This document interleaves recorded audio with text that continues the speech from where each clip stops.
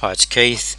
Just a quick video to run through uh, what we've got in the uh, site2traffic manual.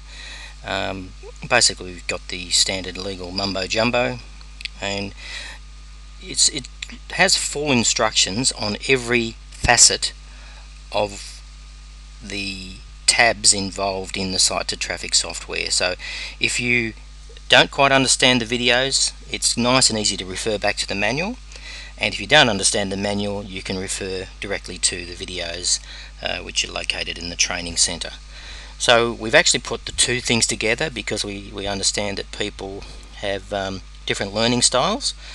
And as you can see uh, there's a full explanation on each of the things inside each of the buttons. Now not this is not to make it complex it's a very simple process. Uh, you can see the templates that are here uh, you can go through the site info button as to what you need to do and what should go there.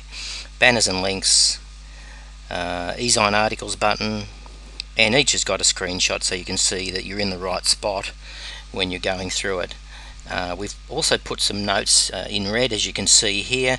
Uh, these ones are more specific to the including graphic focus and once you've done that then it's just a matter of going through uh, each specific button or tab and you'll get a nice easy uh, easy run through when you're setting up a site.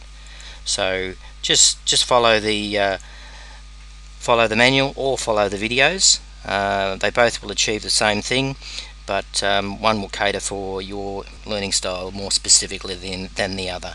And we wish you all, all the success. Bye for now